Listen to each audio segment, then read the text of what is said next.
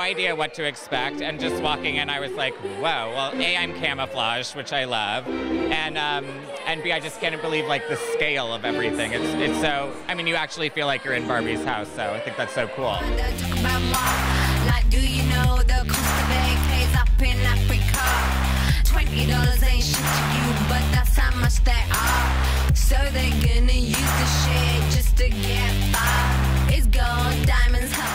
think I'm excited to be in Barbie's dream closet. This is kind of a dream come true. Now, don't you like my bandana? Stains hang low on my shirt, like yeah, yeah. Like monkey brains and banana. I hit it with my antenna. Put so I feel like I'm lost in a pink paradise. I mean, I said this was really the genie bottle of my childhood. This is the place you want to escape to when you're a kid, and I can't believe how many years later I'm here.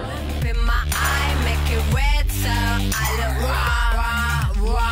So I woke up with my whole liquor on and found out I like how We shooting to the sun is up. Little boys are acting up, and baby mothers are going crazy, and the leaders all around cracking up. We go rich, we This is fabulous. Actually, I was going to bring my Barbies and wear them, but it was too hard to take them to the office.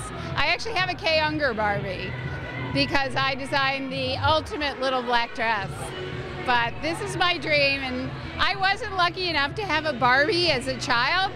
So, as a designer, I consider all my customers my Barbie. we fry. Price of living in a shanty town just seems very high. But we still like TI, but we still let fly. Downtown as we're shooting up and looting just to get by.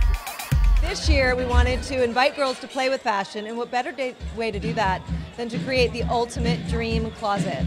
So that's what we've got here today. We have recreated Barbie's Dream Closet, 9,000 square feet of fashion. It's crazy. The closet is over the top with everything again from um, 24 foot doors that are jewel encrusted to augmented reality where you can try on literally Barbie's fashions to um, amazing um, walls of shoes. I think we've got over 400 pairs of beautiful 219 pink high heels to dolls. Um, and models wearing really beautiful vintage fashions um, from fabulous designers that are actually showing this week at Fashion Week. Hi.